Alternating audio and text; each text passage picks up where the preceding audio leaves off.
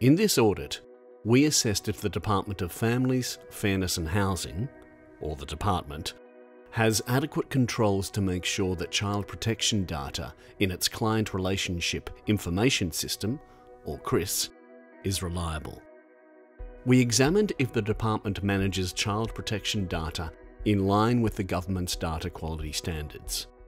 We also examined if its controls make sure that child protection data is complete, accurate and recorded in a timely way. We found that the department doesn't have effective controls to make sure its child protection data is high quality.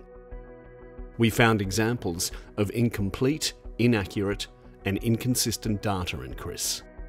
This is because the department doesn't comply with the government's data quality standards, CRIS isn't fit for purpose and its controls don't always work, and staff who use CRIS have heavy workloads which reduces the time they have to correctly record information.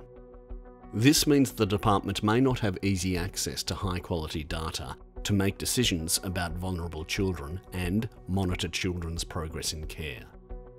The department told us it's aware of these issues and is working on a plan to fix them. The department is responsible for child protection in Victoria. CRIS is the main system it uses to store information about children in its care. For example, CRIS stores children's personal details, including their address and their progress in school. It also records decisions about their support and well-being, including checks to make sure they're being cared for in a safe home.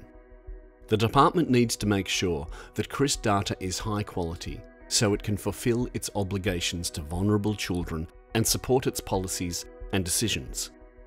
We found that CRIS isn't fit for purpose and some of its data quality controls aren't effective. For example, CRIS has controls to make sure users fill mandatory data fields, but we found they're not always filled. This leaves gaps in the data. Some of the data in CRIS we looked at was incomplete, inaccurate and inconsistent.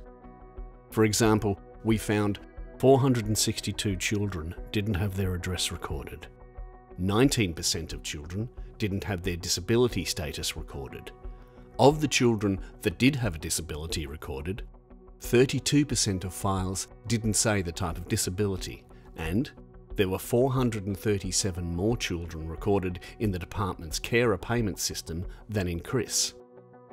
These gaps mean that the department can't make informed decisions that are in the best interests of vulnerable children.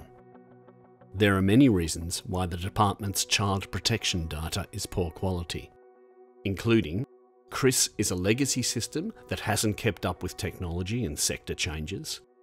The department doesn't comply with the government's data quality standards and staff don't have time to enter information in CRIS due to their heavy workloads.